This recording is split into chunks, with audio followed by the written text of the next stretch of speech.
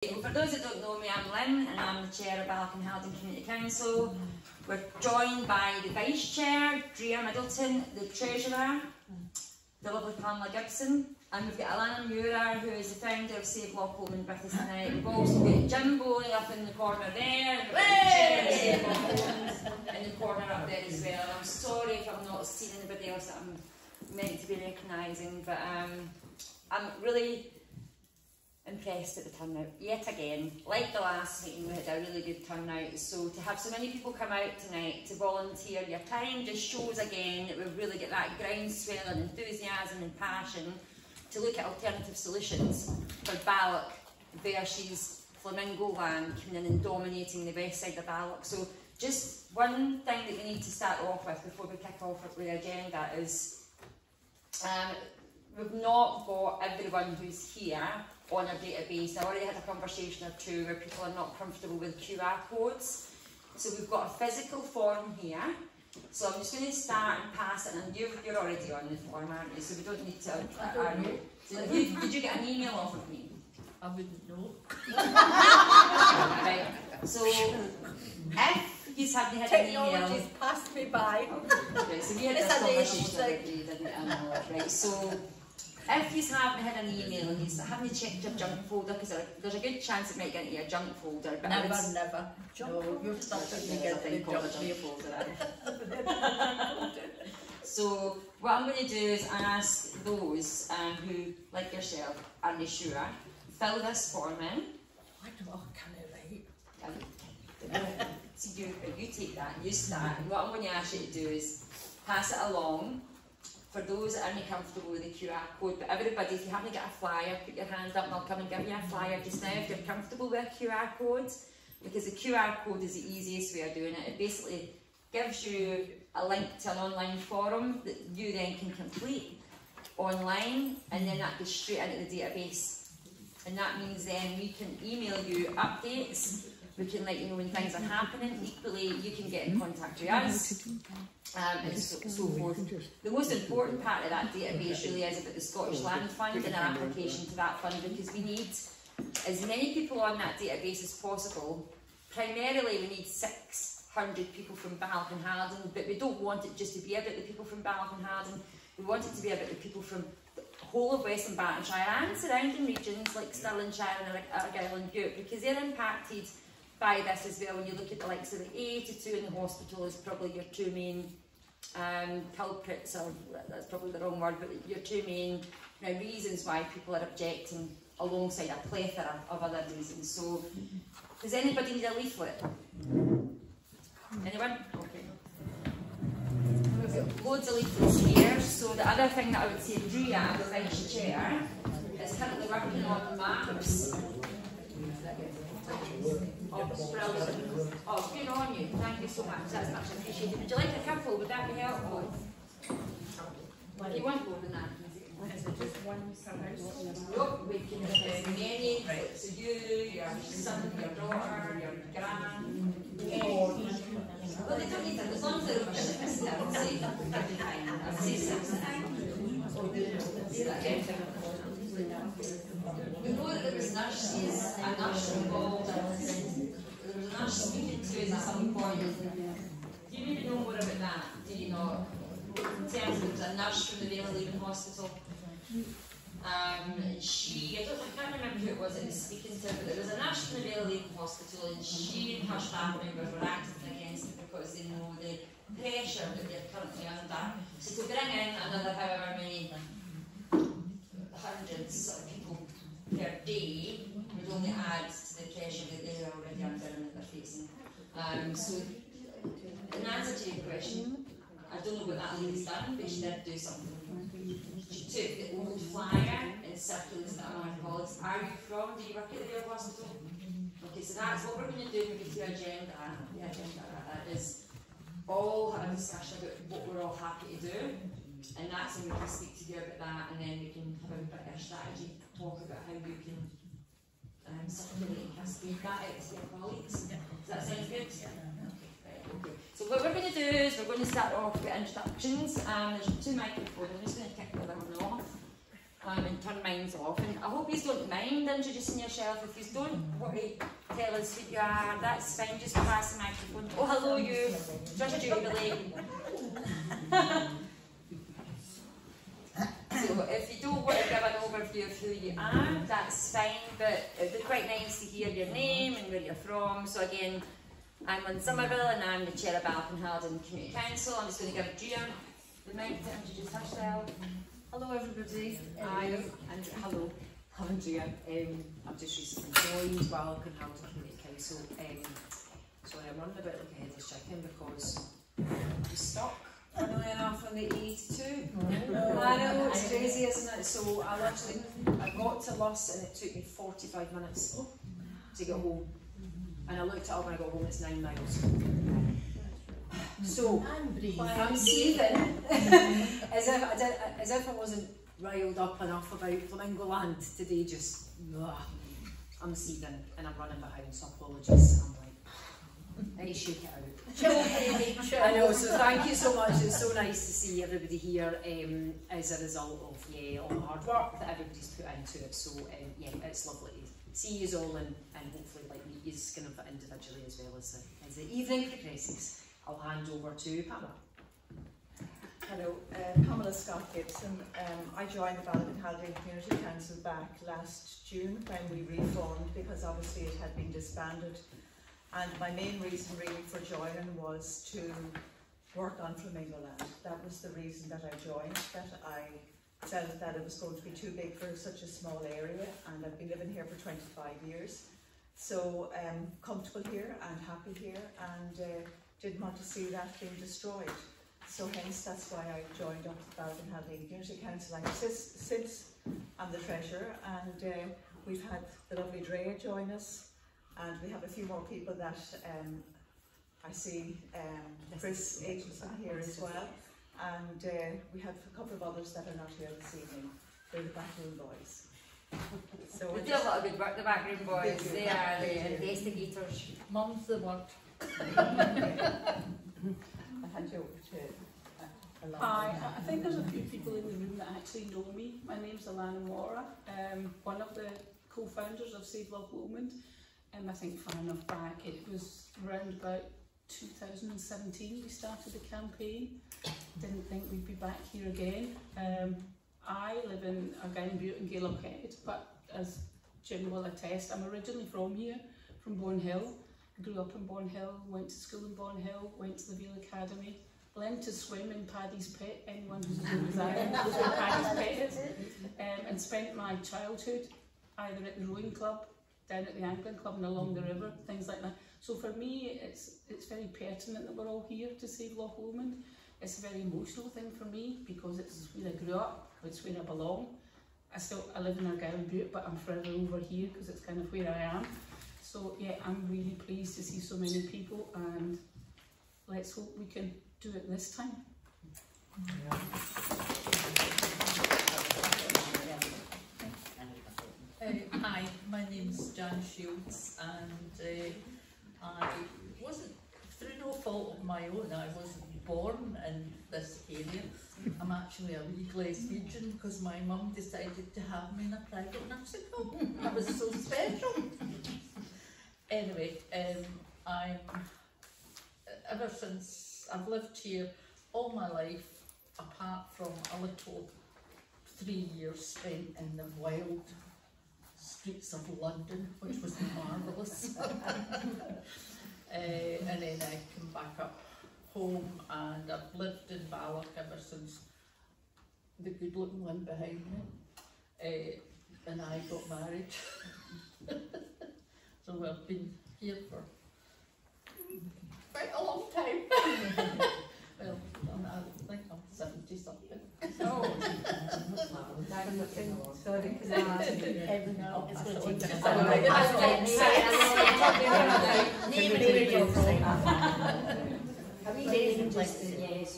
And I'm Mary McClunky and I was born in Ravenville.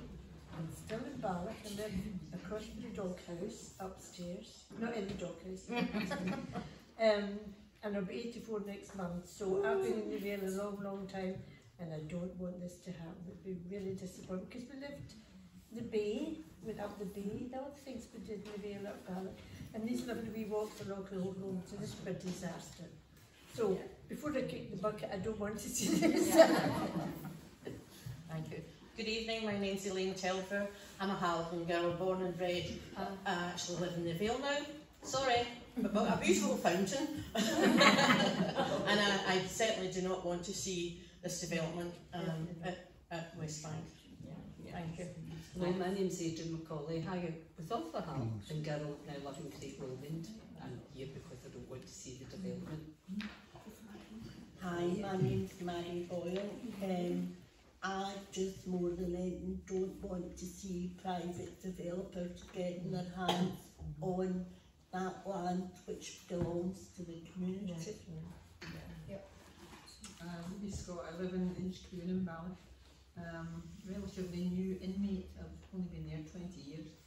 But um, again, like what Marion has said, um, there's no way I would like uh, the Loch Lomond spoiled. It's absolutely gorgeous, never been in the world. was about it, Yeah. um, and I really don't want a fun fair at the backyard. Thank you. Hi, my name's Margaret Thwaites and um, I live next door to Ruby. I've lived on um, Clare Inch, oh sorry, Inch Croon for um, 20 years, but I've been in Scotland for 30 years. So despite the accent, um, most of my life has been uphill, my married life anyway. Um, like everybody else, I don't want big development in the area that's totally out inappropriate size and scale. Could you pass after the, you, could you pass the Okay, that's fine. Hi, I'm Fiona Ironside. Um, I'm not from the area. I bought my first home in May this year, and I chose here because it's the bonniest, bonniest banks of Loch Lomond, and I can't believe that that wouldn't be the case anymore. Yeah. So that's why I'm here. We spoke, we've spoken already, haven't we? So we've had that conversation about you wanting to volunteer. I think you're, you're not alone. No. Thank you. Good evening, uh, Charlie McDevitt from Tabar. Thanks. Hello everybody, Elsa Caldwell from Bonhill. Hi, Elsie. Hi, Arthur from Packer. Jim Bollan, one the local councillors for the Vale. That's Bruce, Heart Ranger, Elsie. You know me anyway. I'm Jean Jack. I was born and brought up in Bonhill and I live in Alexandria and I don't want to see public land going to private ownership. Hello, I'm Jennifer Nicholson. I was brought up in Balloch and my ancestors going back were brought up in Balloch and I really do not want to see flamingo land locally. Hi, David O'Donnell, uh, Alexandria for 14 years. Um, I just wanted to stay the way it is at the moment. Hi there, Paul and Beverly Baker. We've been uh, resident in Scotland for, in, well, since 77, in Balloch for the last 42 years, and we don't want to see anything changing. It's a national park, not a theme park. That's it. I'm Hazel Mills. Um, I've stayed in Balloch and Sydney Vale all my life, which is an awful long life so far.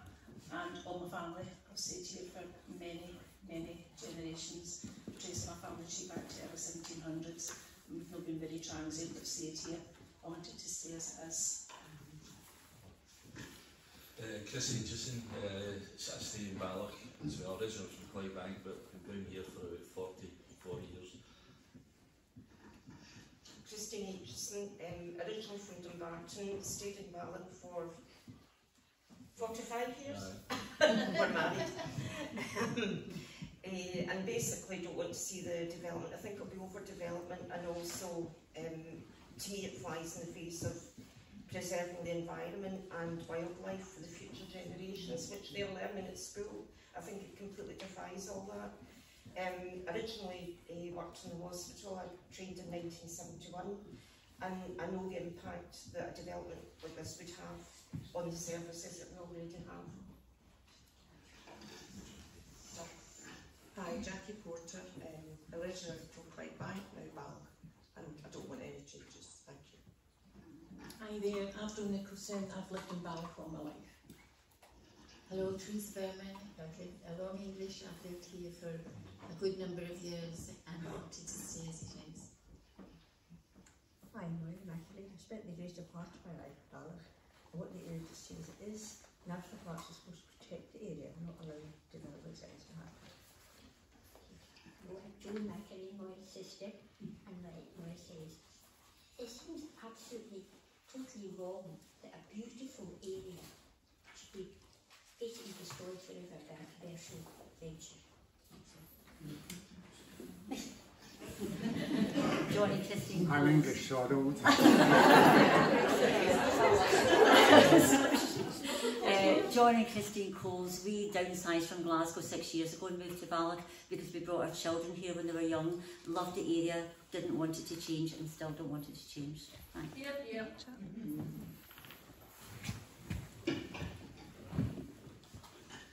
I'm another Englishman, uh, originally from the northeast of England, moved up to Balloch when I was 17 and just never left, fell in love with the place and I'm still here.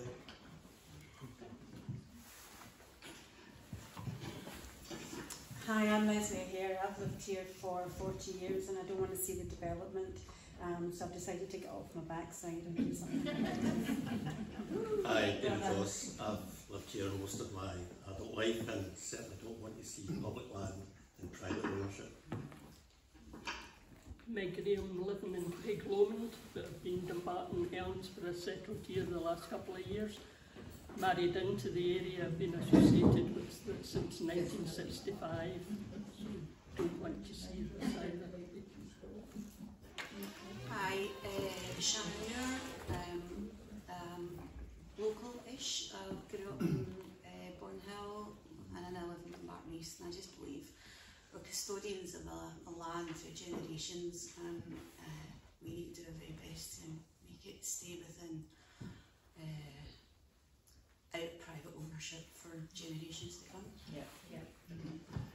Hi, I'm Andrew Manley. I've basically lived here 25 years. Hello, my name is Susie Will. I come from Kilcreggan. Um, I come over to Balloch a lot. Uh, and I cannot believe that anyone thinks that putting something like Flamingo Land on that piece of beautiful countryside could ever happen. It's appalling. Yeah. Well said. Uh, my name is Mike Rees, also known as Di, to close friends and family. I came here in 1969 and as I arrived to, I was billeted by the Navy in the Loch Lomond Hotel, as it was in the day. As I approached Cross Keys roundabout, I looked to the right and you could see Loch Lomond. And I haven't, uh, it's been pulling me back ever since. And it must not change. Yeah. Just so that Scottish Enterprise can tick a box, justify their existence. And this is my lovely wife, who's suddenly gone silent. Something quite earlier. Uh, I- I'm Andy Sinnott. I've been in um, Baturik, just up outside Barwick, for over 30 years. Uh, also originally um, from uh, Lancashire. And I just think the community has a better idea of what to do with these places that they've used for years, rather than giving it to a commercial development. Hi, I'm Doreen Burkett, born and bred in Halton, but I stay in Rosshead. I've worked, no not worked, I've played, exercised the dogs, swam since 1973 in Loch Lomond, and it was devastating when... I, I was playing chicken, let's do it.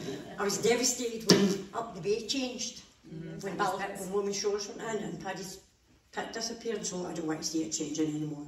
No, no, well said. And we've got the camera lady actually who we're going to let say a word or two. So if you want to just give it a camera and then we'll let you say something. So here you go. I was really hoping I could have got out of that there. uh, my name's Elaine Somerville. I'm local, born and bred, Bon Hill, now live in the Vale. I'm a keen runner, I love nature, I'm always up the hills, I just love the area. I just think it's a travesty if it is uh, yeah, sold off to some private developer. Yeah. Yeah, well said. Thanks, Lynn. Can I give you that back then? Okay. So have we missed anybody? You've not said hello. Do you not want to say hello? Do you want to say hello? Do you want to? Hi guys, I'm Gail um, and I'm the chairperson for Save Loch Lomond uh, Action Group. Um, I'm sure some of you remember us for the last time. Um, just wish us all luck with this venture and, and interested to see how it's going to go forward. Thanks. Thank you.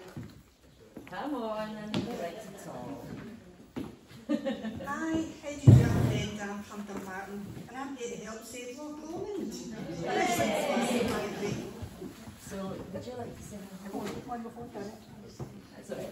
Would you like to say hello, hello to the camera about who you are? You don't have to. Hi, I'm Christina. We've moved to the area about four years ago and um, I commute uh, using the 82 and the 85 and it's the traffic's already horrendous so Yeah. I can't imagine what it would be like um, with this new road. It's too much. Is that an extra car every 15 seconds, I think, during rush hour, isn't it? So Yeah, it's bad enough as it is Yeah, already. yeah, I agree. So we'll find you a seat. There's some seats down you can maybe go in. You want to say hello? A hello? I'm good. Uh, Hi, I'm Peter. Uh, as my wife was saying there, uh, we moved into the area. But we'll be coming here for 60 years um, to the Bonnie Banks and we just want to make sure that it's, it's kept the way it is. Thank you so much. Come on to say hello? You right Hi there, my name is Martin Bell. I've lived here since uh, 1978. Uh, I just live in Fishing Road and uh, I'm totally opposed to what they're wanting to do. Um, Thank you very much. There's seats across if you want to grab one. Okay, so just we're here to speak about the community development trust tonight. We're really not here to speak about anything other than that, but I think it's important that we offer updates. Um. Um, so Balkan Haldane Community Council are obviously leading on the application to apply for an asset transfer to be um, conducted under the 2015 Community Empowerment Act. Um, just to prelude that though, we're obviously speaking with LLTNP about why we don't want it and as a community we are acting as a, as a statutory body rather, we are acting as a community voice. But not just in behalf of Balkan Haldane, on behalf of the rest of Britain, West Dunbartonshire and in fact those 130,000 objectors that are on the green site as well, I would say. It's yeah, yeah. It's, changed, it's gone back down, it's back down, so there's been a bit of an anomaly with the numbers, so we don't know why, we need to speak to Chris Quanton about that, but, um, so Ballard and Haldane Community Council are, are constantly, and Pamela um, had mentioned the, the back office boys, Kenny and Jeff are really pivotal in, in kind of finding that key detail and whatnot. So there's a couple of things that we've done in addition to that 34 page objection that was submitted in the 24th of June, I think it was, roughly about that date, but we've submitted another objection um, and it's with respect to um, the, the, the background to manage woodland in Old Luss Road area. So that's available on the Balloch and Haldane Community Council Facebook page for you all to view. Um, what I will do in follow up, or we will do rather, is we'll send an email out with these attached so you can have a little read of them. I know that some people have difficulty or you're not on Facebook or you maybe have difficulty reading it from Facebook, so we'll attach those to that and you can have a little read of that objection um, because it, they seem to have included details in the plan that it means that it doesn't belong there and it means that in addition to the two hotels, 100 lodges, the monorail, the water park and the staff quarters and the brewery and everything else that they've got proposed that they could actually come back and add more onto that at a later date. So we've highlighted that to them in that objection. There's also a, an FRA, which is sorry, a, a um, flood. There was a flood risk assessment. so they keep LLTNP. We've continuously asked for a flood risk assessment to be conducted. Um, with Bank House area, I mean they keep refusing, and it's up to them to ask SEPA to do that. The SEPA we've went to, and SEPA have told us that they cannot conduct it unless LLTNP specifically request it. So we have, and we're running with that as well, and we're, we're hoping to, to try and ensure that they, they carry out that FRA because there is a, a real flood risk and we've given them evidence to demonstrate that. The other thing that we've done is we've submitted a Freedom of Information request um, to Scottish Enterprise in the last week or so and um, that Freedom of Information request is really looking at the due diligence and adherence to the governance process in respect to the planning policy, um, NPF4 and, and how they should be managing any application, but specifically this application itself. So we've yet to get a, um, a response to, to that as well, so we'll keep you posted. And again, that's just a little bit of a general update on... Sorry, can I ask, have you had an acknowledgement of it? Yes, we've had acknowledgement of all of those things. Right, and have they given a time frame of when they're going to reply? Typically they need to do it in like 21 days. I used to work for Scottish Enterprise. Don't do me. it was, it, was, a, it, wasn't, it wasn't Scottish Enterprise in Dunbartonshire, it was Scottish Enterprise Glasgow. it's at the time. Yeah, so um, we've had acknowledgements of that and um, yeah, we're, we're, going to keep on top of that and we've actually got some follow-ups to do. Yeah, just, just as, a, as a matter of interest, you need to check if you've put in any objections that it's actually been put onto the portal. Yeah. Because not every objection actually hits the portal and you think because you've sent in the objection that it's there. So the Please. total, the Green Party one or the No, National no, no, the Park? National Park. That's So That's if where, you the- did- that's where the actual objections Right. and anything, any technical ob- objections that you've made, check that it's on the portal because we found that you could send an objection and it might not hit. Right. But what happened to the ones that were put in the Green Party portal thing?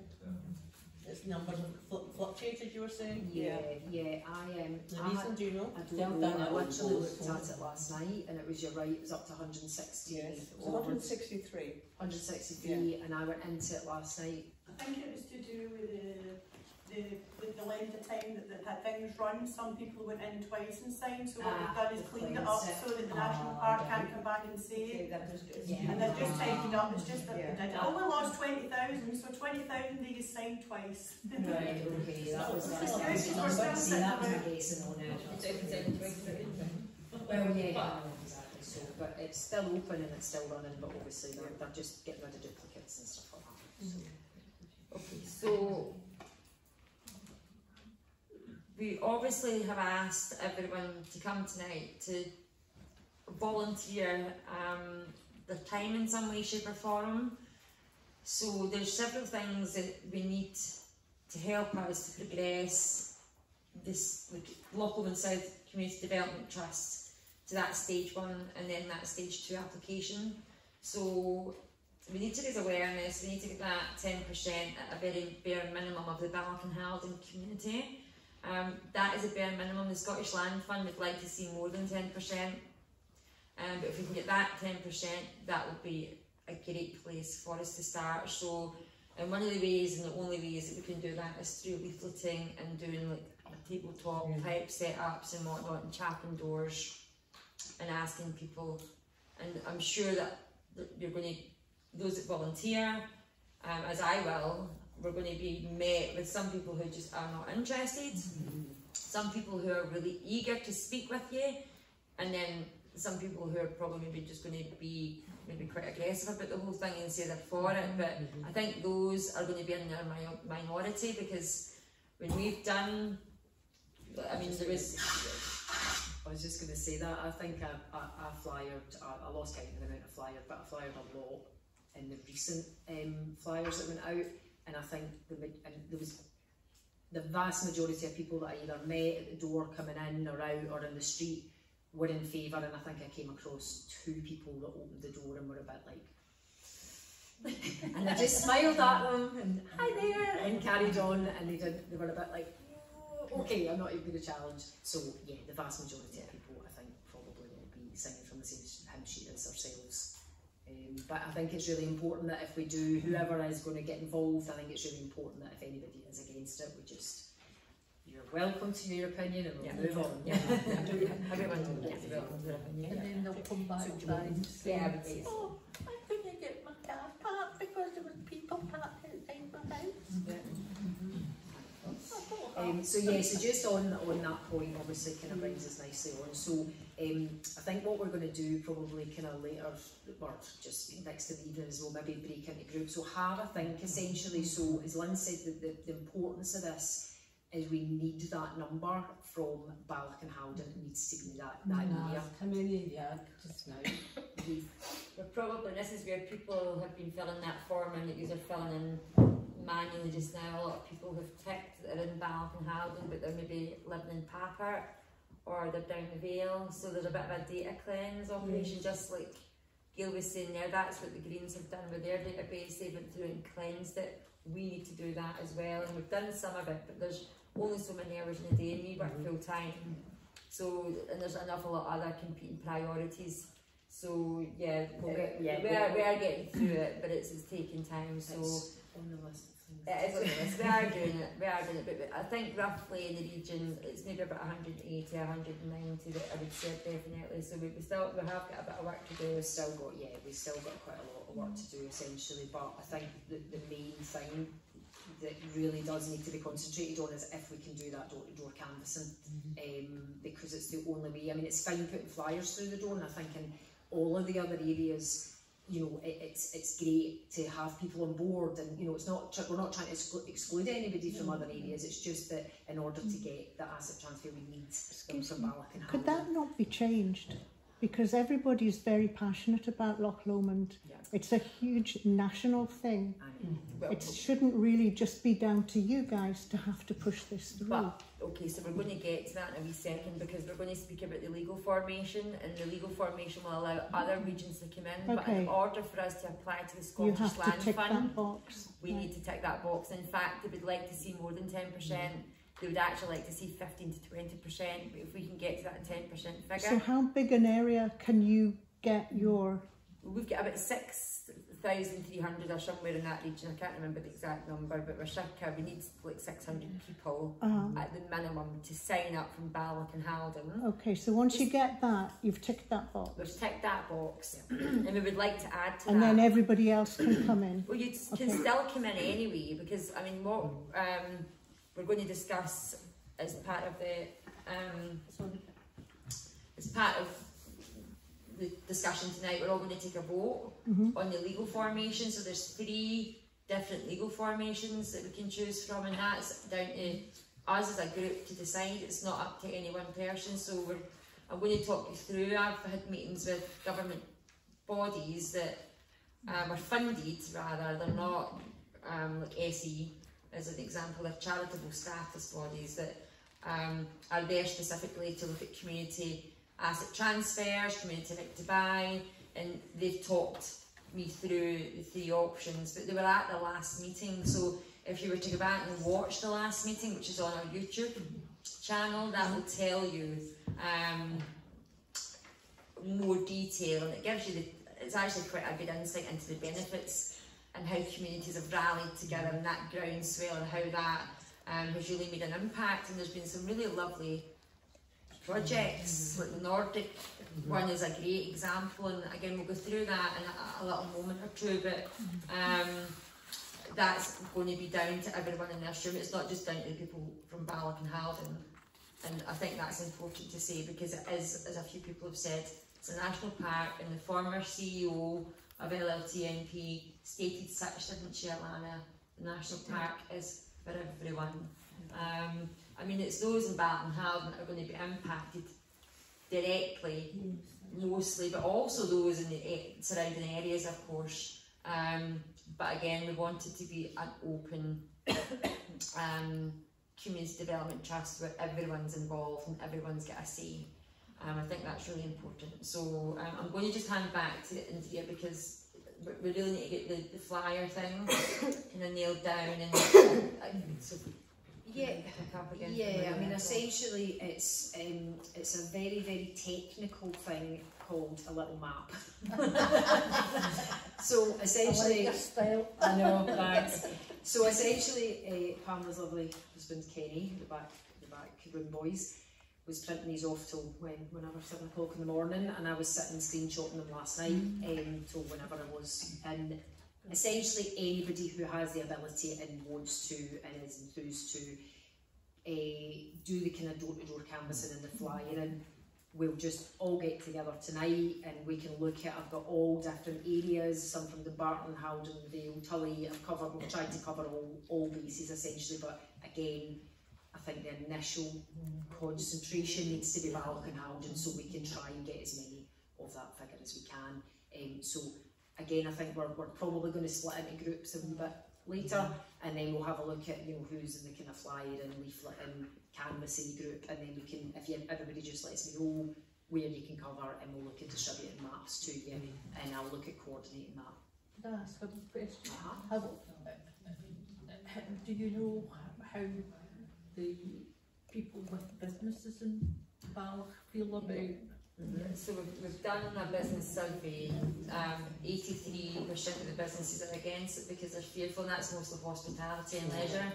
Yeah. Organisations are fearful for the survival of their business because of the impact that the footfall, so either the, um, the Flamingo Land Development would absorb that footfall or it would drive it away. Equally, that absorption is, um, if you look at Wood Leisure as an example, they do not um, they add to the economy. They bring to the local economy because they don't have an on-site uh, shop, they don't have a restaurant, they don't have a bar.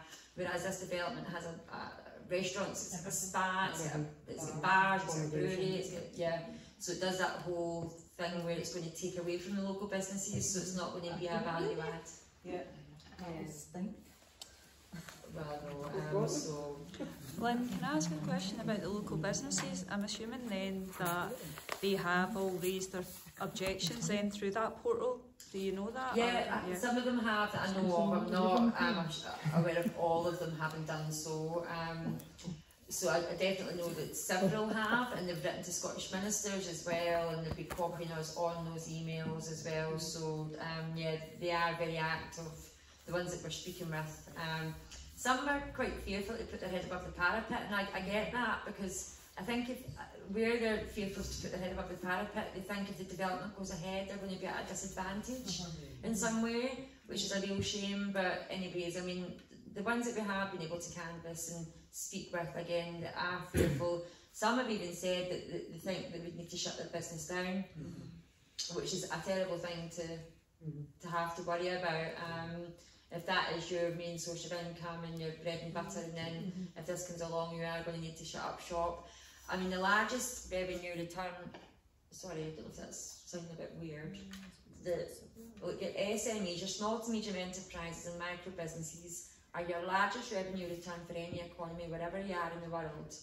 Not your larger corporations, not your Aldi's, not your Asda's, not your Flamingo Lands. We need micro and SMEs are the, again they're the best thing for local economies.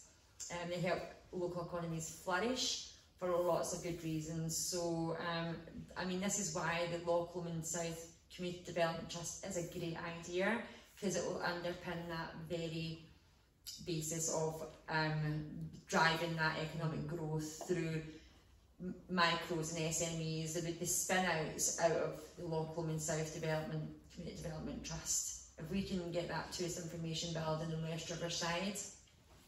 And I know that there's con there's controversy over that because not a lot of people want to develop and we don't want to tear down trees and we don't want to change anything or impact on that, the animals, that habitat, the area at all, but we need to, and this is an adherence to the Scottish Land Fund piece as well, we need to be seen to be creating some form of development. Mm-hmm. I'm afraid we've got no option other than that. So we need to look at what's missing from the area. So we don't have a community council. Oh, sorry, a community um, centre. that was a bit of a, I hope that wasn't a long week. a very long week. I'm firing myself. So um, we've not got a community centre. I mean, we're in a hall tonight that we've had to hire that's um, linked to a local church, so um, we've not got a community centre for any demographic team National in. Park's lying empty. And the National Park building, yeah, um, that's just spent over a million is, is the juxtaposition, is, the irony is not lost on any of us when you've got the library along the road that's just been shut and moved into the local primary school that's actually lacking in ASN places and you've now got young families that are having to homeschool their children that have got special and additional needs. Um, it's shocking, but nonetheless, that's not what we're here to speak about tonight. Certainly, the, the, the whole idea about the, the Loch Lomond South Community Development Trust is that we come together and we, we create sustainable solu- solutions to, to, to creating community empowerment and wealth building opportunities for the local community that will be for the betterment of not just the community but for the, the economy itself. Offering real opportunities for people to flourish, not to enter into low paid entry level jobs that offer no real opportunity for career progression and that is the only thing that this development will bring to this area. That is my that's my and that's what I work in for the last five years. I have worked in higher education, um, private before that in higher education, specifically on the skills agenda. So low paid entry level jobs with very little skills attached to that is not what we need for this area. It will just perpetuate the poverty cycle that so many families are stuck in and they have been for generations. And I speak from experience. I'm the first from my mum, my mum's family, family side to go to university. Um, generational poverty in this region and district is a real issue.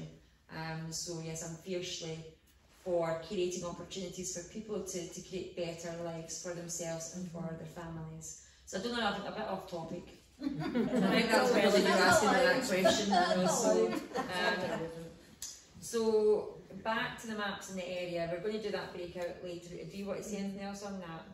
I don't really think so. I mean, it's not rocket science. It's maps. it's not rocket science. So rocket science. Yes. I think it's probably better that when we break out, we'll, ju I'll just just go over it. We're, we're going to do the map thing, we're going to do the table thing and whatnot, and, and, and we'll sign people up that way. So the, the fundraising side of things, um, we've set up a GoFundMe page, which is hugely important because the Scottish Land Fund, so there's a couple of reasons why it's important. The Scottish Land Fund, there's a, stage one and stage two of the application process. Stage one will help us look at the valuation and survey costs for the tourist information building and West Riverside. Mm.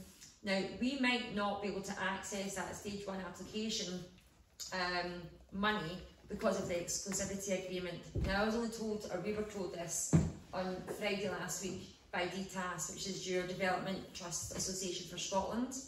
Now, their solicitor had taken a look at the exclusivity agreement and look, and she knows as an organisation, that's what they do day in and day out. Um, they know about asset transfers and everything that's involved and the, the kind of monetary funding application side of things.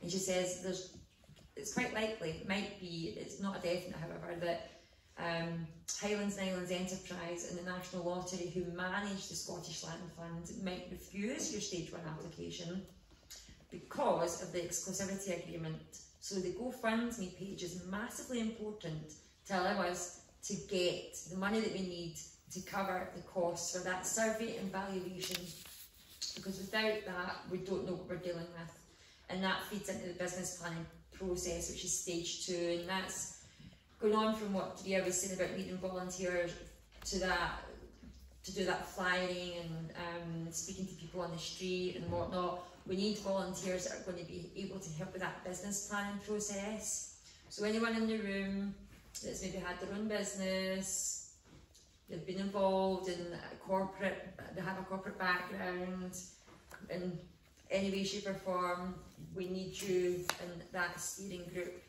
in that business planning steering group to help us um, draft. And what we would do is draft a, a first copy of a business plan and then all of us would get back together again and you'd all have a copy to read beforehand and we would all discuss it. Um, I mean, there's some, we could float some ideas tonight. We've had some really good ideas, like Bruce up in the corner there has a fantastic idea of an amphitheatre behind the Tourist Information Centre, mm -hmm. which I think it would bring the same kind of footfall as the Highland Games would. It wouldn't impede too much on West Riverside, yeah. And it would allow us to have a community um, hub of sorts where we could all meet and have um, theatrical productions, musical productions and whatnot. It would complement the, the folk festival. So that's just one idea. There's another idea actually, I'm going to pass along to Alana on this because it's quite a nice idea. I think it's important you mention what you know. I'm sure there's lots of people in the room who are well aware of the Loch Lomond Amateur Rowing Club, founded in 1872. Now, they really need a better facility. Mm-hmm. So I've been in talks with two of the ex-members of the rowing club. You'll probably know them, Peter Haining mm-hmm. and Jim McNiven. Um, both Olympians. Strangely, we produce quite a few Olympians from this area in rowing.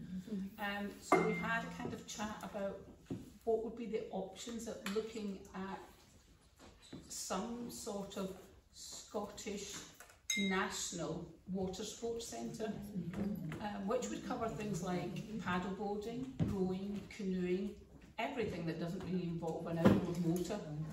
Um, so in keeping with the environment theme, but at the same time opening up a water sports centre that could be used by tourists, but also would have at least a 50% usage for the local schools and for local community groups, so that all our children as they come through from school are learning water safety and getting a chance to do water sports because as we all know, um, most of the um, outdoor activity centres are out with the reach of the school area now and we don't really have any in our area. So what is the point in sitting on a huge lake and not having a water sports centre? It just seems madness. So we're in sort of really early talks with uh, Jim and Peter to have a look at this. Yeah,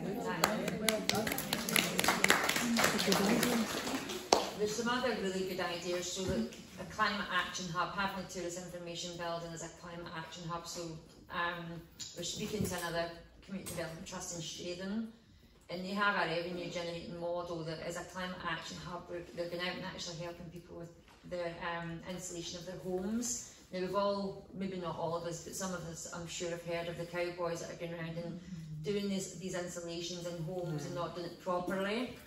Um, so that's one revenue generating idea that we would actually have the blueprint of straight off the bat. Um, forestry schools, mentioned, I think, did you see that there? Um, uh, there, is a, there is a group in Glasgow um, that run forestry schools at the moment um, through Glasgow City. It's a mixture of forestry school and theatre type schools and they take children from age three up. Um, they're interested.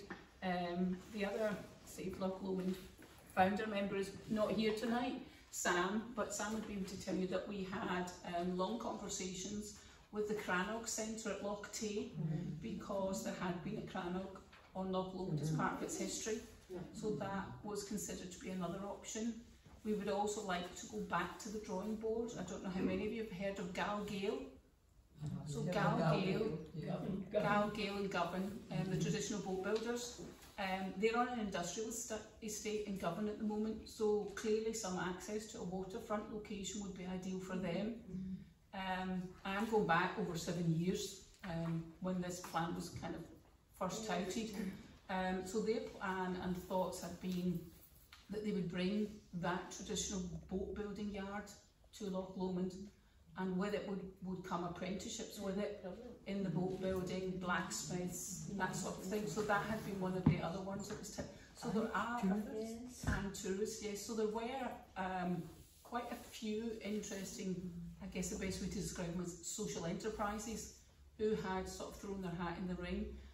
And I'm almost convinced if if we can succeed and get access to this land, overturn the exclusivity agreement, then there's absolutely no reason why this community and the supporting enterprises can't bring some sort of what I would best term as Scotland's premier eco-tourist destination and mm. why that cannot be Balloch and Loch Lomond. Yeah. Mm. And that's yeah. what we're looking for. So, the, the, again, going back to the GoFundMe, um, it's super important. It's on the leaflets that you all have. Um, we're putting these on the Facebook page and whatnot, and we've shared them, and it's super important that you share them with your friends and your family. A couple of pounds towards that GoFundMe will go a long way. Um, have, you, have you got a target figure you're aiming for? Well, the target, initial target is 10,000. Um, there's other ways that we can look at raising cash when we look at the legal formation, but we'll get to that in a little bit. Um, I mean, we've got an event that we're hosting in the Doghouse on the 31st, Saturday the 31st of August. So Aussie has kindly given us the owner is Aussie. He's kindly given us the, the premises for free, and he's going to be putting on well the order or the agenda of the day is it will kick off at 3 pm and we'll be running a raffle. So we've already got some really good raffle prizes. We've got some top notch hotels. We've got vouchers for how many stays already? Four? Five? So you've got another one? Yeah. Just go to that second. So we've got five hotel vouchers, we've got whiskies, we've um, got restaurant vouchers, and that's one of the things we would want to ask everyone here tonight. Have a little think. Do you know someone that's got a business? Maybe you have your own business. Is there something you could maybe donate to that raffle? Because that will help again. Would give them a cat. That would help them, uh, obviously, add additional funds to the, the money that we need to raise. Um, so that event will run from 3 until 5, and then Ozzy's going to put on free food for us all. And then we've got bands um, from around about 5.36 until about 10, and then there's going to be a DJ or two on. So um, it will be a ticketed event, so please do come along. I think it'll be a really good Sorry, I don't know the name because I'm new here, but um, the the big boat that leaves from Balloch. Sweeney's, yeah. How invested are they in the development? Are they for or against? We've, we've not really spoken to Sweeney's about this. I think, I mean, in terms of Sweeney's involvement, yeah, I, I think I'm probably going to say no comment on that at the moment. Um, yeah, so yeah, the event is ticketed and we're going to do the posters, so we're just confirming the acts. We've got a um, band or two confirmed, we've got a DJ confirmed, and we've got to just maybe get a poet that's going to come along, so we're just wanting to confirm them up before we do the posters and we'll get them out hopefully next week. Um, so we'll be able to get tickets probably at the Doghouse, will be one location. Um, we might have another location or two, but certainly the Doghouse is where you could go, and I would suspect you'd be able to pay at the door because what will happen is you'll have people that will only come for a couple of hours and leave because it is such a long day, mm-hmm. and then as long as we're not at capacity, people will be able to pay to get in. So, and then that will obviously be good because we'll be generating that extra mm-hmm. door entry fee. With, with that only being four weeks away, is it not worth putting out something about save the date, more information to follow? Yeah, we will. I mm-hmm. think, I mean, again, it's uh, competing priorities. The priority has been concentrating on tonight's meeting and getting everything ready for tonight's meeting. And again, we're working full time, so there's only so many hours in a day. We're really All relying. volunteers now. We have got all of you guys. so um, you've all got those that have got social media presence. Um, I mean, it's really important that we are collaborating and sharing and supporting one another. And where that's not happening, it's it's it's because to a certain degree, there's there's there's been, um, and we'll, we'll get into this in a little bit more detail as I, as I go through the agenda. But we need to be supportive of one another.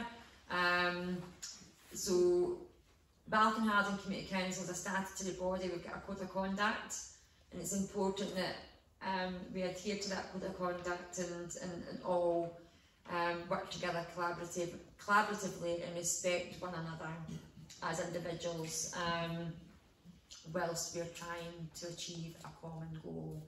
And that's ultimately what we're trying to do here, so we can't lose sight of that. Um, so the stage, just on to the next piece of the agenda, the stage one of the Scottish Land Fund, I've already mentioned that we are gathering quotes. So we've spoke to like of DM Hall, Savills, um, Hardy's, and a few others in terms of those quotes that we need for the Tourist Information Building um, Valuation and Condition Survey. That's stage one, so we'll submit that to um, the, the Scottish Land Fund, which is Highlands and Islands Enterprise and National Lottery, with those quotes attached, asking for that money to be paid for, for those surveys and condition, evaluation and condition survey to be carried out. Um, at that point then, we then need to look at the, the business planning process. If it's approved, again, it might not be approved, so that whole GoFundMe page piece and that doghouse event is super important that we try and raise as much money as we possibly can so that we have that as a backup. Um, the legal formation is where we're going to start talking about the three different legal statuses. So um, I'm going to try and keep this as simple as possible. And Jim, I'm going to actually give you a microphone up because you have experience.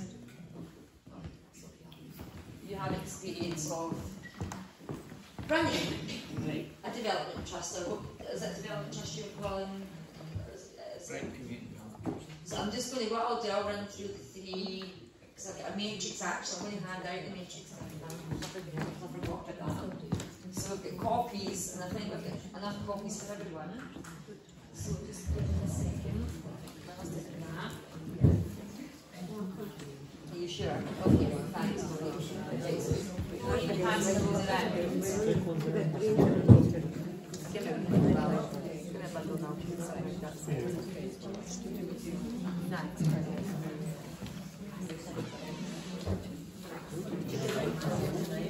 Pass it around. Just take one and pass it around. Pass it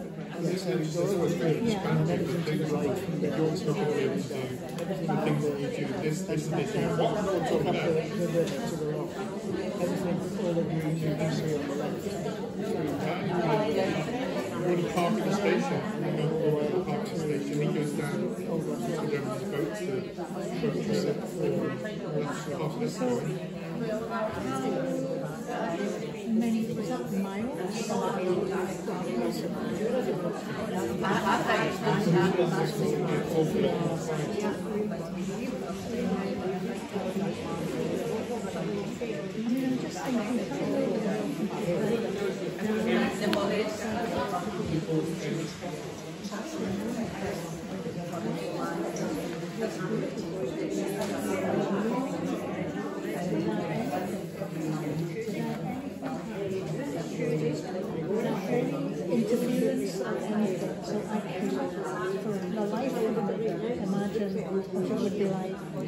would be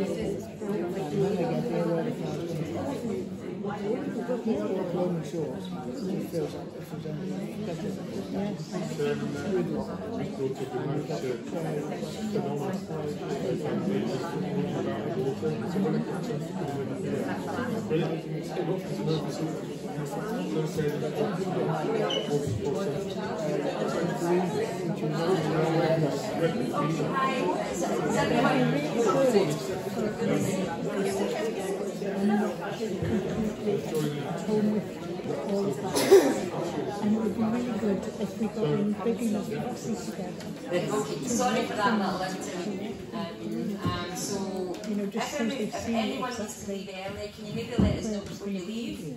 So that if you are able to do anything, kind of capture what it is you need to do. So please don't just exit the building. I need to leave it with that. Really go quick, have a quick word with Gia about what you can do. Right, so anyone else who needs to leave? flyers and stuff, to see and I'll help Yeah, them 'cause again, we're going to need um, not just that um, PR, flyering piece, um, we're going to need those persons that can help with the business planning, but also we're going to need people that want to put their names forward to become trustees. Um, so that's a whole other conversation which is a good segue into the paper that you've now got in your lap. So there's three legal formations that we can look at that would allow us to um, form a community development trust. So there's your SCIO, which is your Scottish Charitable Incorporated Organisation, your com- company limited by guarantee, and then your Community Benefit Society, or otherwise known as a BENCOM. So the first two um, mean that we, being Balloch and Haldane residents, not community council, but if we form a community development trust under Loch Lomond South Community Development Trust, the, the residents of Balloch and Haldane are the only ones that got full voting rights. Um, you can be associate members of the first two, but you can't vote on anything. The third one, the BENCOM, is um, where you can, it's a community share led setup. So we would issue shares, you would need to buy the shares, just like the Balloch and Haldane community would need to buy shares. Um, it doesn't matter how many shares you buy, you would have one vote and one vote only. And it would allow you to apply, you not just have voting rights, but you could apply to be on the board. Um, I think it's a bit of a no-brainer for me personally, which one I want, um, but it's up to everyone to take a vote on it.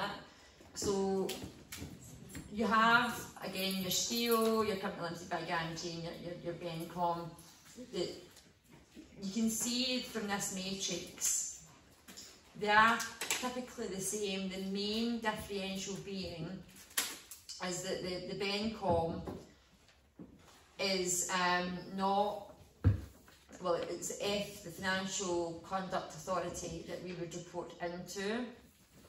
Um, so it has been suggested that if we do, if we do vote to go down the BENCOM route, which means that it would be 51% Balloch and Haldane residents, it would always be a majority of Balloch and Haldane on the board. That 49% could be people from Tullichewan or Levendale, or it could be that we ring fence, say 10% of that 49 and we would be out for overseas. For example, people from Australia and America, and then that means we can actually make it a revenue generating model. The example from the last meeting um, where Meg spoke on the BENCOM, which is in Knoydart, they were sharing um, selling their shares at a very large sum. So the BENCOM offers that um, flexibility. It's also more attractive to funders. So as a charity, we would need to go through funding, and I'm sure there's people in here with experience of that. And Jim, this is probably where I'm going to ask you to come in. You, as a community development trust, can you maybe give us an example of what you need to do on an annual basis to get the funding that you need? Thanks. Aye, well, I mean, I'm, I'm the chair of the Community Development Trust, and it's been in operation for a long time. and it was actually formed long before you could become a SCIO. So we're actually the one in the middle. We're a company limited by guarantee, uh, and it's we've got nine trustees on, on the board, of volunteers, don't get paid, quite rightly. Uh, and uh, the, one- the one at the top is actually the one I would, I would favour is the, the, the. Because if the SCIO had been in when we set our trust up, we would have went with that model, but it wasn't available. I don't know enough about the bottom one, the benefits society, but the, the, the one that we're in, a company limited guarantee where you, you're responsible to OSCR for your accounts and you've got to register as a company, uh, limited by guarantee uh, for fifty pound.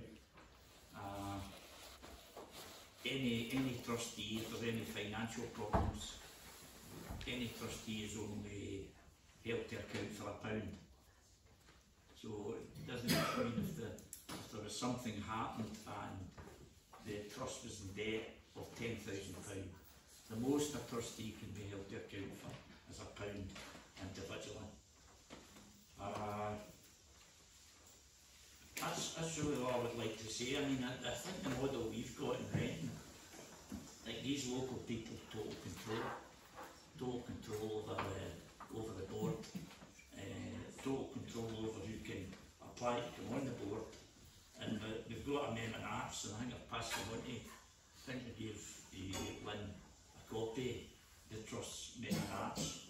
That's your Bible, that's how we've got to operate, and it's how OSCR uh, evaluate what we're doing. Uh, so that's about it. I think if there's any questions, Peter, I'll, I'll, I'll try and specifically answer them, you know. Does anyone have any questions? If you go for one of these, uh, is it possible to uh, do that initially and then maybe change it to a different system later? Yes, you can do that. You, you, you can do that. I mean, you can pick any of the three, and then yeah. if it doesn't suit you, you could then develop it into one of the other ones. There's a process to get through, and you need to get OSCR to approve that. One of the suggestions has been that um, that we, for to expedite, because obviously we don't have a lot of time on our hands, is and this would al- al- also lend to that being able to diversify um, where our revenue generation is coming from, because again we need to be generating some form of revenue to make it a viable um, situation. Because if we've got a building to manage, we need to be able to manage the building. We need to be able to keep the land and its a, a current or good state. It's not a good state currently. Actually, I know why that is because and MP are not paying our Lomond Shores the extra for the one man extra it would take to keep that in good order. Anyways, I digress. So.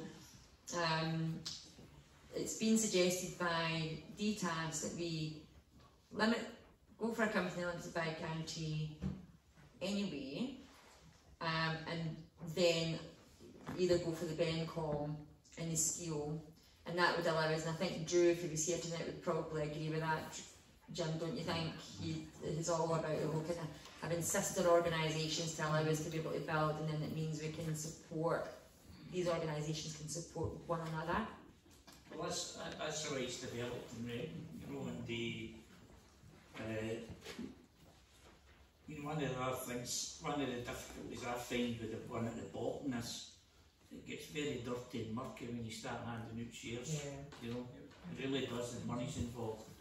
Uh, so I think that's something to think about in the future. But one of the, the, the main way we raise income is the only asset Renton Community Development Trust has got is the John Conley Centre, which is an old community centre in the village in Renton. And we rent space out to various groups, and that gives us an income to maintain the building as best we can. So that, that, that's the kind of model we work on.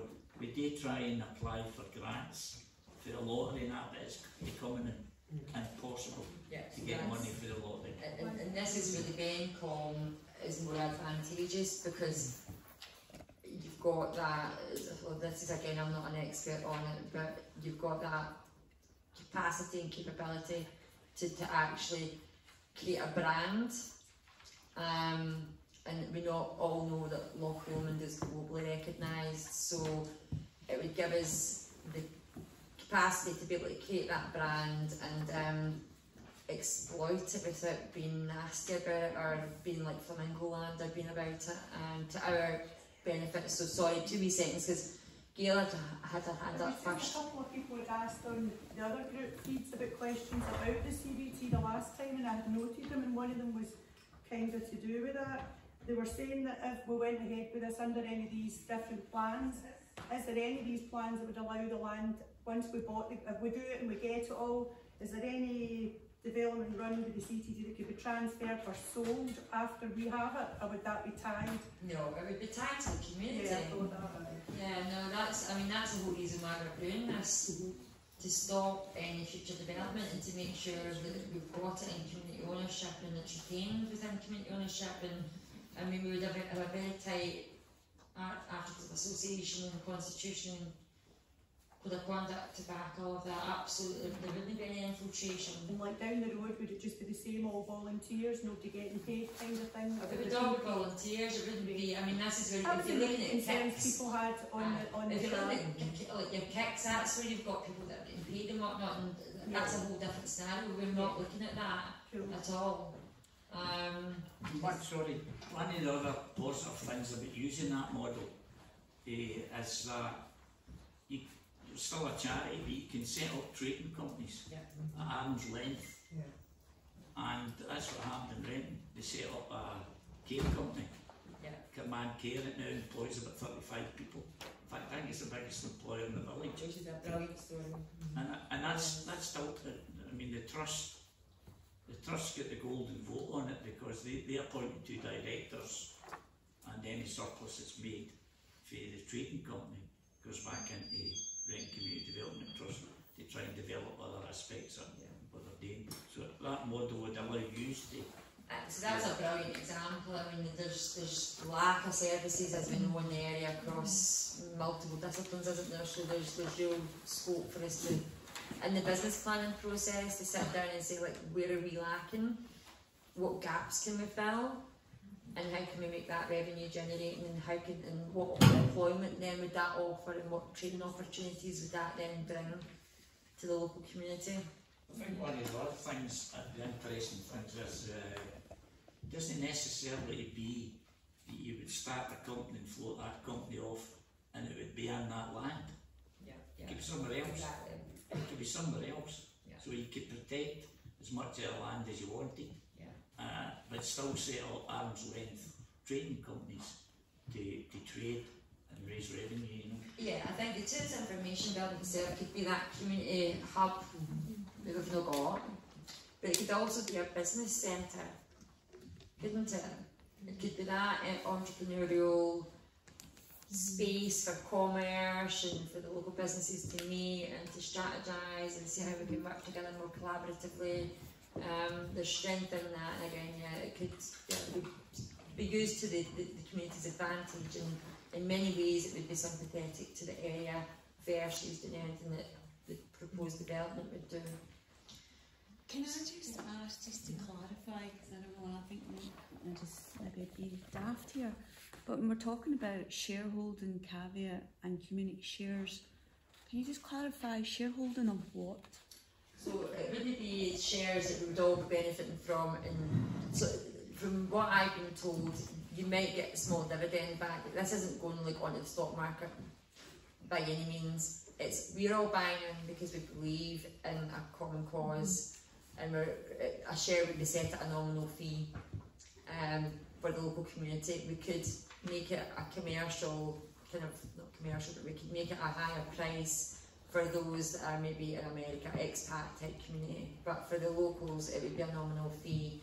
Um, and that, again, the difference between that and the scale is that everyone would have equal voting rights.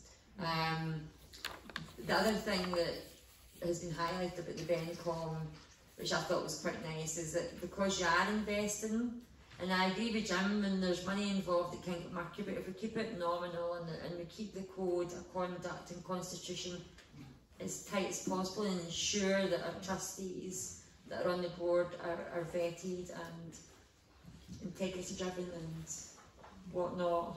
It could be run to the community's advantage, but like, come in, you're going to say something to that there. I think, I think one of the other things is, you know, I mean, I don't know, it seventy or eighty people here in the it would be simple for every member in here to sign a form and become a member of the Community Development Trust. Yeah. And you're able to fix the fee, so the fee could be nothing, or it could be ten pence. And from this number you could elect fifteen people to. Become trustees. You only need nine, but we tend to find that people can't make some meetings, so you've got that flexibility with fifteen, you, you can make a, make a quorum every month. Yeah. So that, that, that's kind of nuts and bolts are one of the things I think you should think about tonight.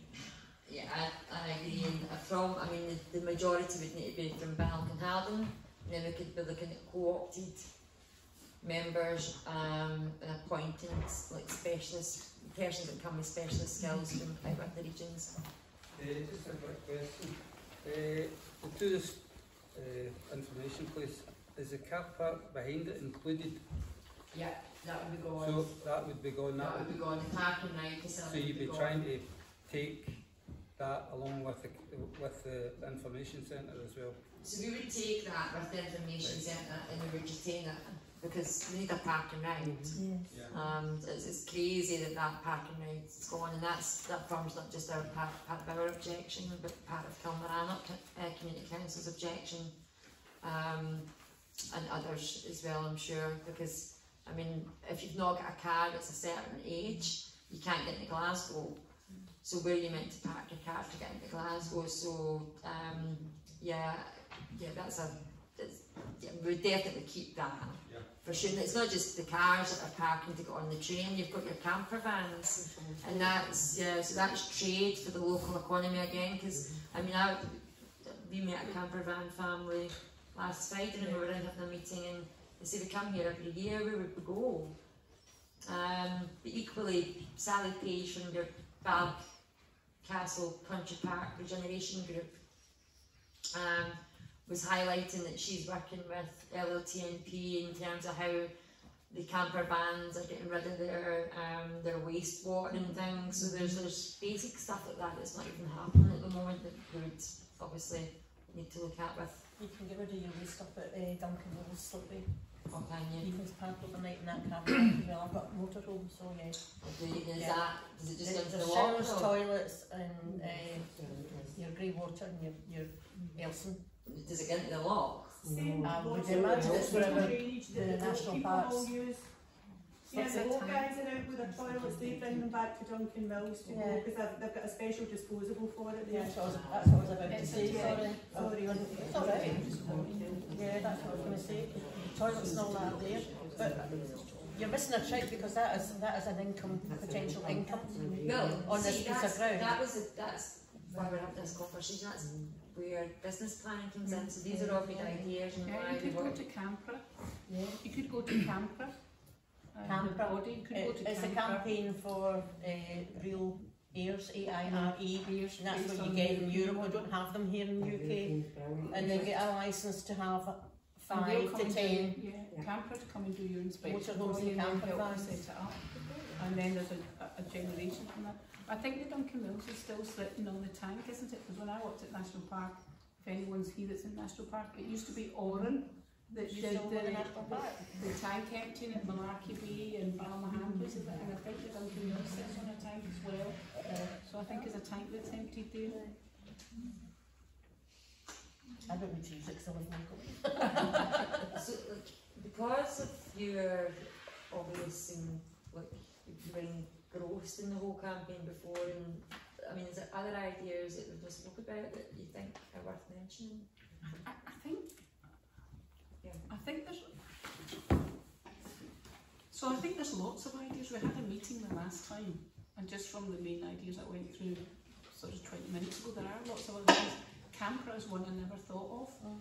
Even though I've got a camper van, it hadn't come across my mind that CAMpRA is a way of bringing in generation. So you so you're generating money because they're coming in, they're camping overnight, and they're paying for fresh water and uh, their waste.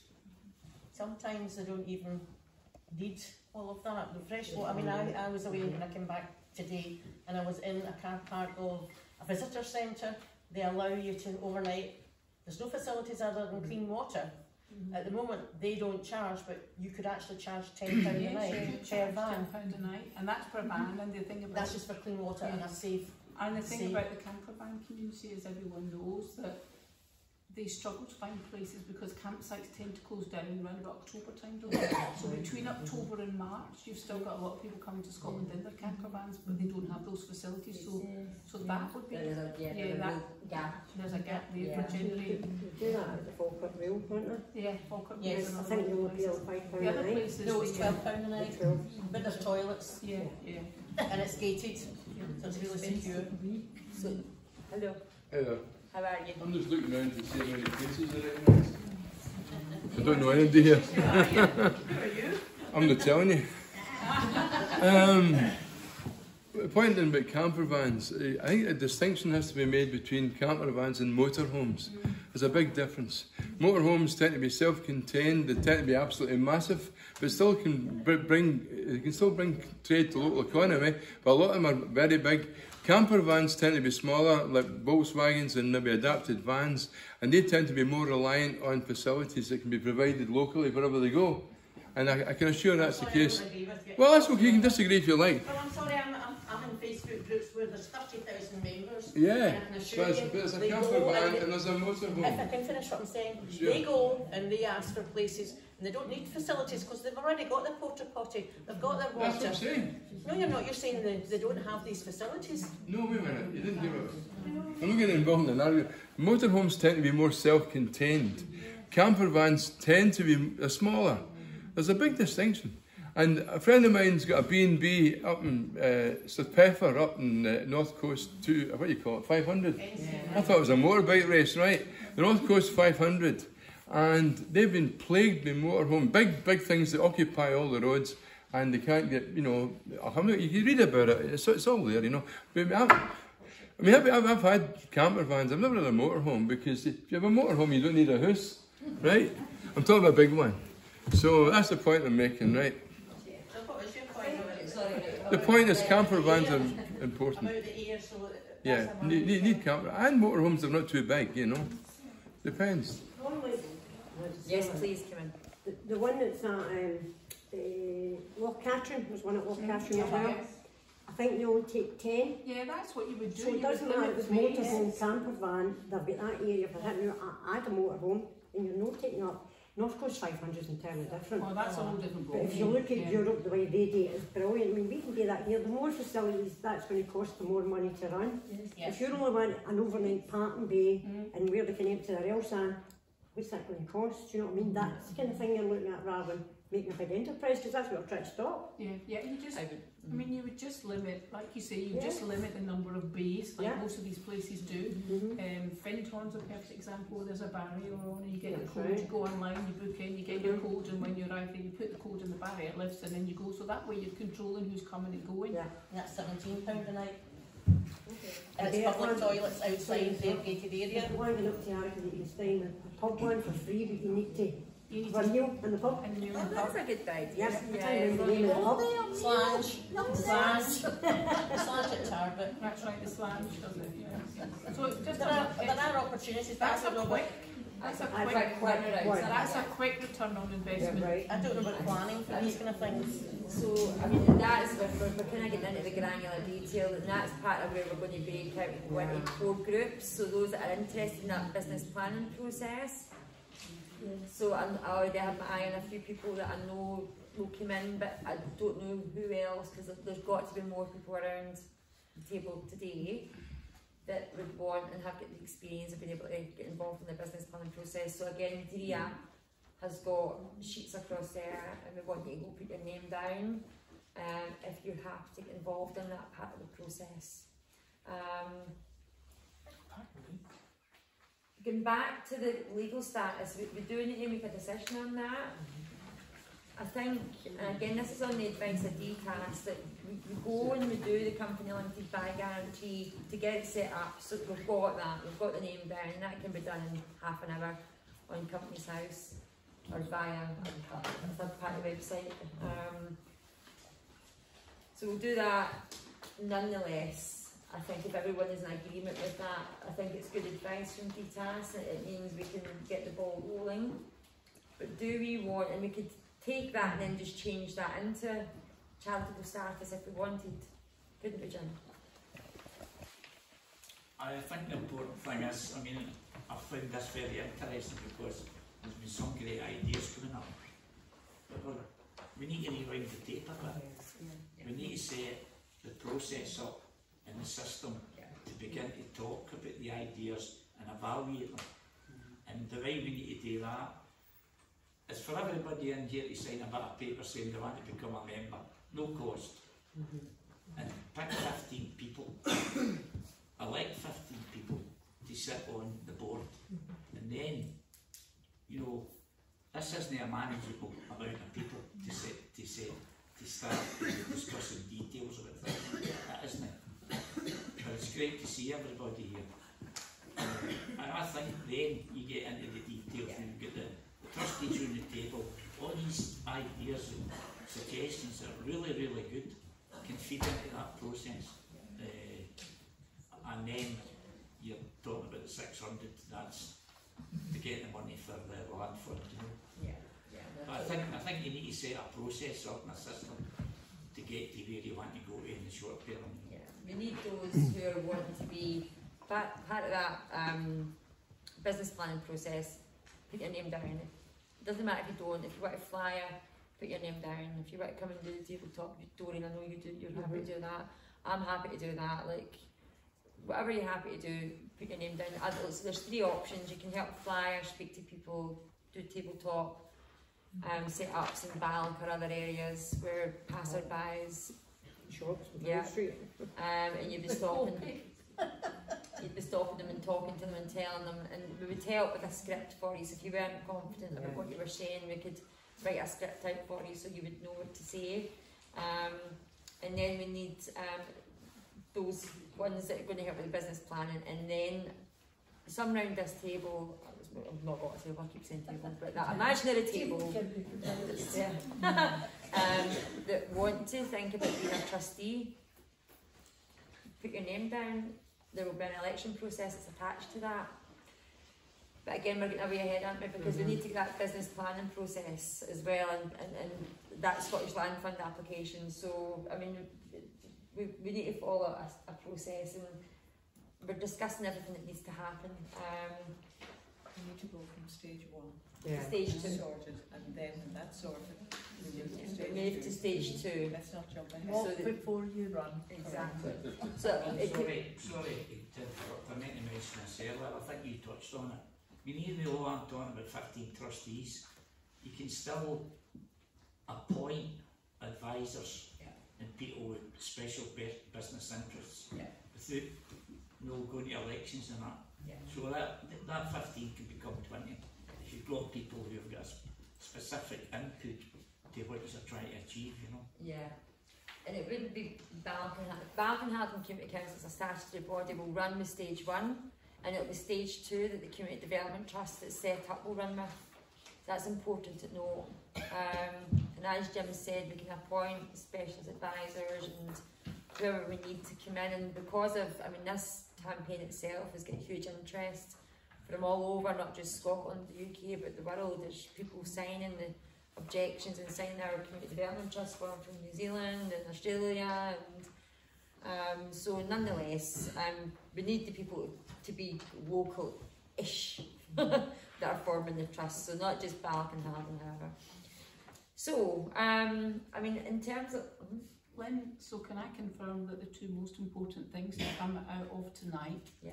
are that you need to reach that threshold Yeah. Mm-hmm. of 600 We need the of 600 local per and absolute Balgan. minimum. And the second thing, aside from all the signing of you, whether you wanted to leave it or whatever, the second thing is we need boots on the ground to achieve that 600. So that's the two important things Well, that come there's, out there's, tonight. I mean, there's that, and then we need, we need um, the whole funding thing is important as well. We've not got that funding thing going on in the background. We need that backup there because if the Scottish Land Fund will look at what we're doing as a community, and if they don't see the community looking at fundraising activity, they're not going to take it seriously.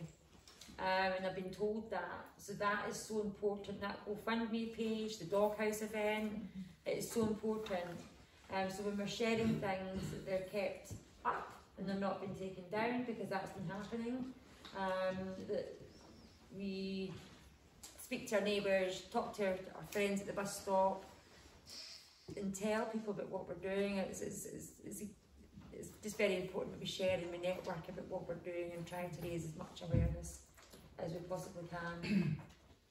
Can I just ask a question? Would it, the, any of the local papers, because I think people still buy local papers, and they would maybe give you a form to put in the paper? I don't think I've got time to write a call with you. this is another thing that if I mean see if somebody's got marketing experience in here, like I come from a marketing PR background, so but I've not I've, I've got a full time job. Um it's not a completely different sector now altogether, but this is a, if you've got a level of expertise in a, in a, a a special area, come and let us know because I know Dave has and he's going to lend his expertise to the campaign. So if you've got something, I mean, it's you might not think it's special. So come and tell us what you can do, what your background and experience is, and it could well be that it's something we really need help with. Um, because at the moment there is just a very small group of us, and um, we- we're, we're doing an awful, an awful lot. aren't mm-hmm. we? Uh, we're trying, and then again, with your, your support coming on board, that's, that's going to change obviously, because you're going to help us. So the GoFundMe and the what you've said there, the pertinent points, salient pertinent points from tonight's is tonight's speaking is that we need the boots on the ground, those volunteers flying, speaking to people. Get the six hundred from Balloch and Haldane and promoting the GoFundMe going forward. So I suppose we concentrate on the night and just get that started. Mm. Well, that's what we need to get started tonight, mm-hmm. definitely. I mean, I would, I would really want to vote on the legal formation tonight, but I don't know whether we're at that stage. I think people are a little bit. I think they need to understand it better than to actually mm. look at it. You might have to have a second meeting to vote on it. Yeah, I think so. What we'll do, Jim, are you in agreement with that, that we have a second meeting to vote on the, the legal status? Because I think it's maybe just too much for tonight, that we I don't know how people feel, but I mean, the, the three quite simple options there, and I think you've explained the three. I really think it's important we try to move forward as quickly as possible. I mean, once thing's are sure, I'm going, we're going to go ahead and we're going to go for your company limited by guarantee regardless. We're going to get that down, we'll get that Companies House set up. But from DTAS, again, um, her advice was do that and then you can decide if you want another. If you want the Bencom or you want the steel. So So why don't we just do that then without bothering with the vote? No, no, why don't you concentrate on what you need to be concentrating on the now, set up the limited company and then revisit that at a later date when you're in a more secure situation and you've you've established the funding, you've flyered, you've got gained momentum, you have people signed up, you know, I think there you make key things, then you revisit this at a later date. Um, Yeah, okay. Good. I, I've run a SCIO charity for 14 years mm-hmm. for the Cove and Youth Cafe. Okay.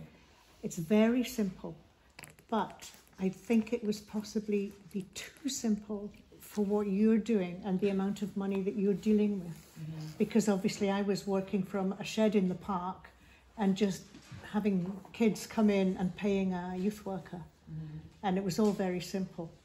And it's worked brilliantly for 14 years without any glitches or anything. Um, so I can guarantee that that is a very easy one to, to use. But for what you're needing, I think it's maybe not robust enough. I hear you. I think we're the Nordic example is that Meg spoke about at the last meeting with that Bencom. Mm. It would complement because of the footfall that we have in Balloch. We've got a million people. You're going to be dealing with a lot of money Yeah. and you're going to be dealing with a lot of other people involved. Whereas I was very much uh, like, a lone wolf just dealing with all of that stuff for the youth cafe. And then my youth worker would do all the stuff with the kids. So it was um, very straightforward. But yeah, I think I think possibly you need something a, a little bit more robust than a SCIO. Hmm. For yeah. I am veering to the from status, but it, is, it needs to be a group decision. It really needs to be all deciding. But I think what you've said is, I think the way forward is that we um, reconvene in a smaller meeting, or a, whoever wants to come, you can all come if you want to, but I think we, we reconvene, we'll go for the company limited by guarantee to get the ball rolling in the first instance. Once you speak to all the people you're going to canvass and give them a bit more to talk about as well, and the more options, and it gives them more to understand about the the three options and stuff, because it doesn't have to be done now. Well, I had asked DTAS for more information, this is all they could give me. So there's only so much that I'm going to be able to relay other than what's been relayed tonight. So I think, I mean, going back to Jim's point that... To your housing people, anything like that, that they, maybe the ideas or choices on. Um, that'll mean the ones you and use that page, don't it?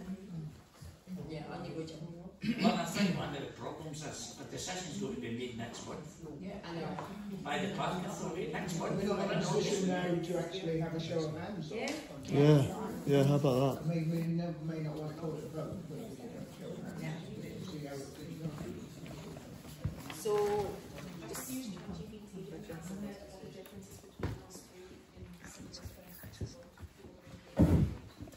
Yeah, you, you, you could do, and then what you can do is keep it back and get it out to email via everyone. I think that's probably the simplest way um, of doing it. So, um, we'll come back to the voting idea in a second, don't you? Well, how we missed the beginning of the meeting, I just want to know what is the sort of timescale we're working towards to get this Well, we need to get this up and running straight away, and this is why we're going to go to the company limited by guarantee straight away, just off the bat, and then we can come back around the table and decide whether, whether we want SCIO or a Bencom, or we can translate the company limited by guarantee into a um, charitable status. Did you go Um, on these? Yes, we're going over I mean, the time thing is with a SCIO, it takes up to three months. So we don't really have time for a SCIO, actually. That's another pertinent point. That, that No, but Flamingo Land, I mean, how immediate they want to try Well, to uh, uh, the sort of decision- develop The decision date is the 16th of September, but we know that It's only about six weeks away. yeah, we know that LLTNP will have made the decision before then. Jim, won't they have? Yes. So I mean, there's a good chance that. I just like to make a further point, it's not relevant. Oh, it's relevant.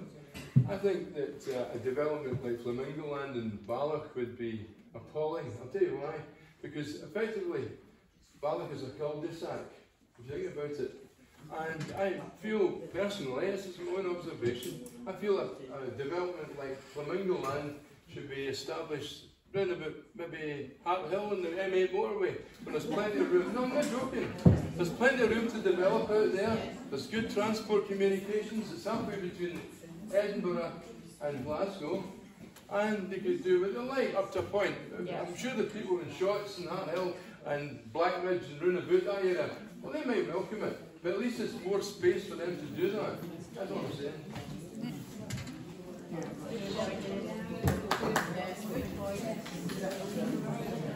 Sums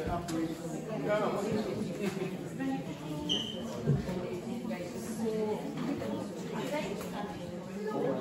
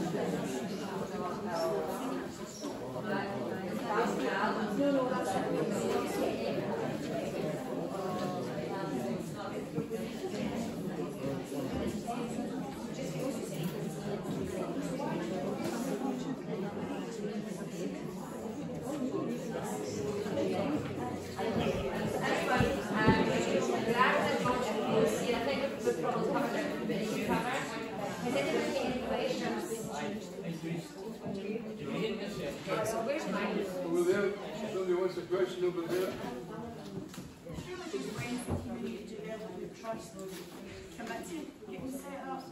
Um, That's what we're speaking about so now, so the stage, are we sure, so is that stage one, and that is when you set up the, just get, rather than having community council doing it, stage one, and then it's in relevant to our application.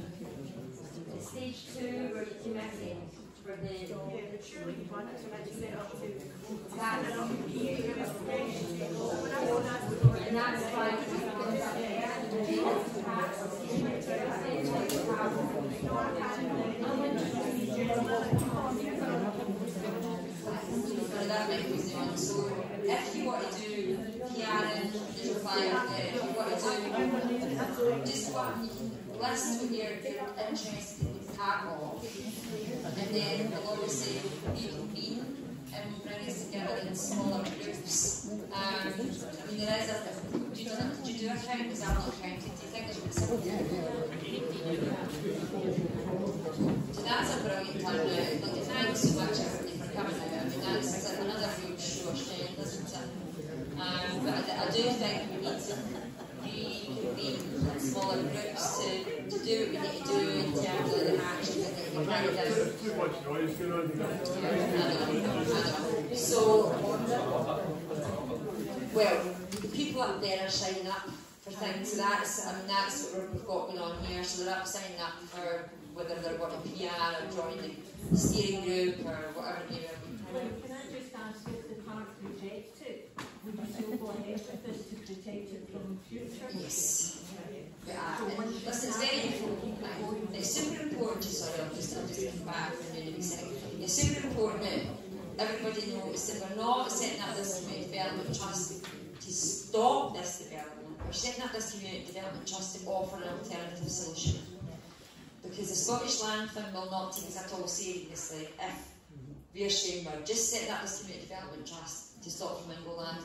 So yes, we're setting this up so that we are safeguarding, we're creating a- an alternative solution to development that we don't want for the betterment of the local community.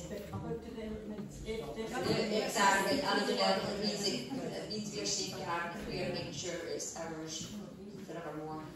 But surely if the park rejects it, then there's not so much And rush the to get it done. we'll still do it. Uh-huh, yeah, Uh, there's not the, uh, uh, we're, we're still we still do it.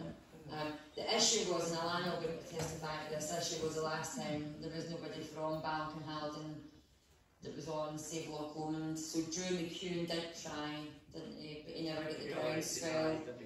Uh, so the groundswell wasn't there um, to get enough people together. That luckily we've been able to get together. Um, so we've got with all you guys coming along and supporting us. We now have the real chance of being able to do this where it wasn't an opportunity to perform.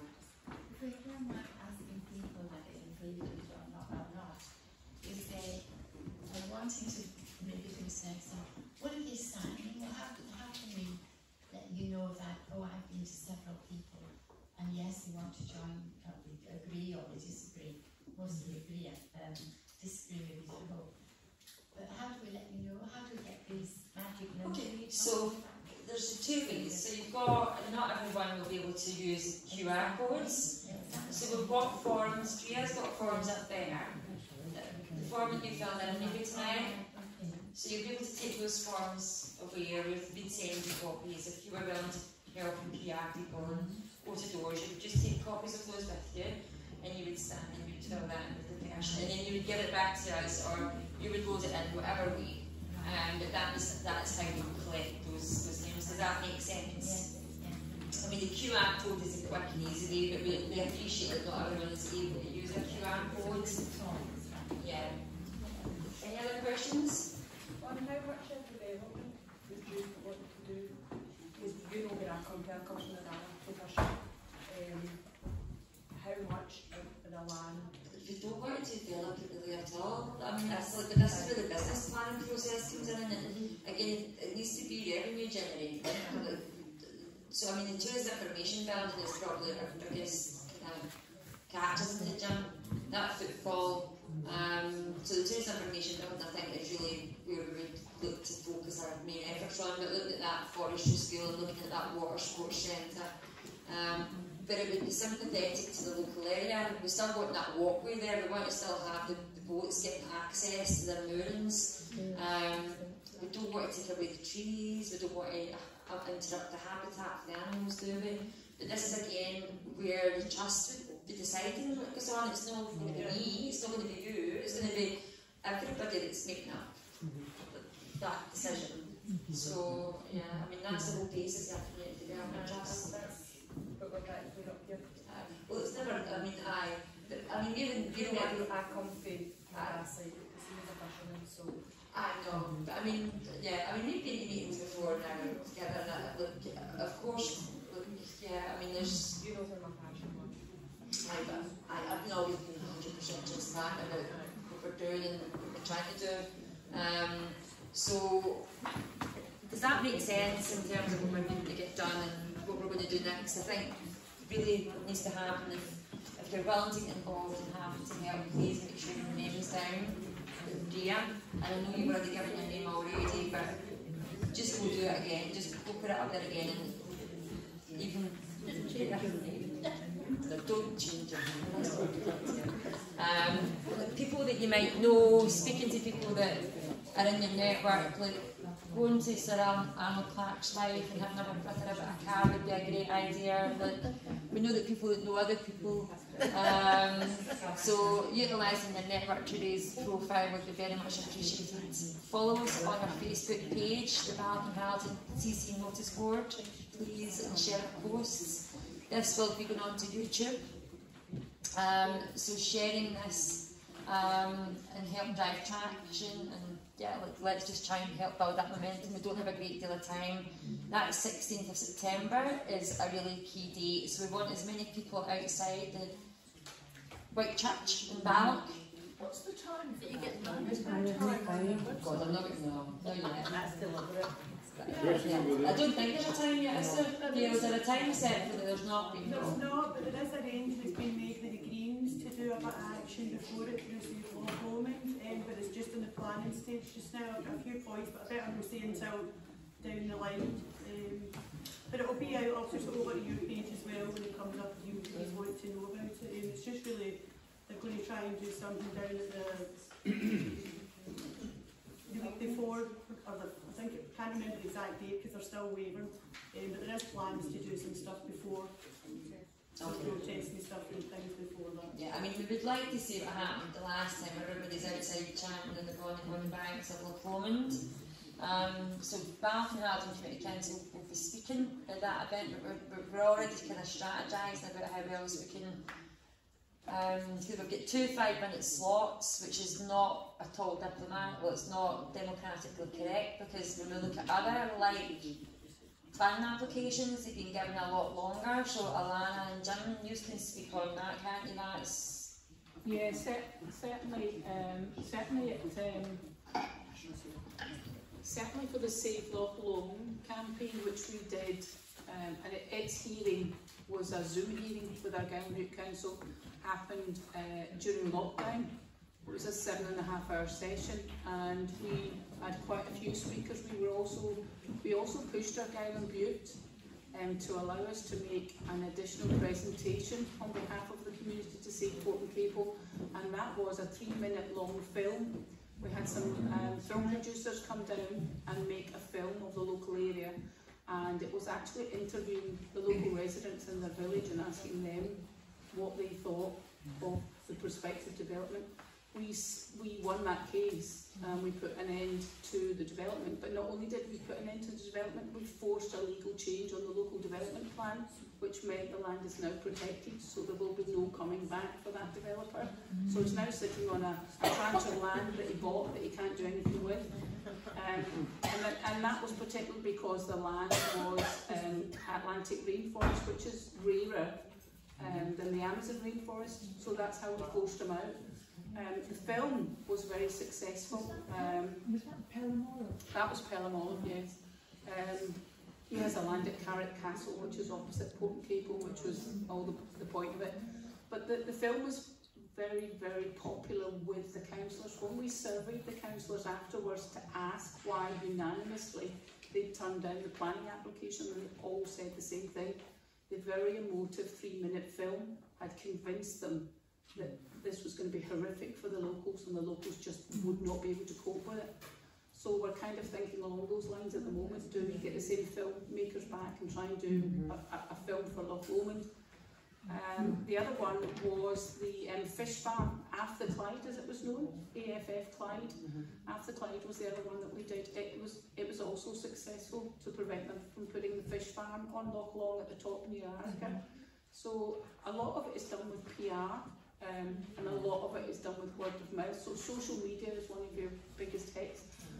All of these campaigns have a running theme through them, and that is the Greens. Regardless of your political persuasion in this room, the Greens, through their weight behind Port Portincaple, through their weight behind the Long campaign, the Fish Farm campaign, so they kind of like spearheaded a lot of it, and that's where the benefit was, because we were a small campaign, We didn't have the social media reach that the Greens had. We didn't have a database that the Greens had. So we didn't have the access to the greater, wider public. Um, so there are a few people in this room tonight who I know have a lot of media contacts, and particularly in the film and programming industry. I'm looking at one lady in particular, and I think that helps. So at the moment, we do still have support from three media names that I can think of. Cameron McNeish, the Hill Walker, oh, still in the campaign. Eddie Reader. Oh, and we also have the actor from Braveheart, Angus Macfadyen. Yes. So I'm looking at Susie Wills now and saying, Susie, can we bring some more names on board that would give yeah. us a bit more PR? I'm sure. I mean, I was talking to Elaine C. Smith the other day and Gregor Fisher. So they're both around at the moment. Oh. Yes, nothing yes, else to say, I've just said it. Gregor Fisher is a good idea. Say again? Gregor, go for Gregor Fisher. Yeah, well, both of them, I mean, oh, they're friends. Brilliant. What about Tony Roper? Exactly. Yeah. Yeah, get Tony Roper involved as well. Oh. Um, yeah, you know, I went to them. Yeah. So, I know lots of. What about Jim McGregor?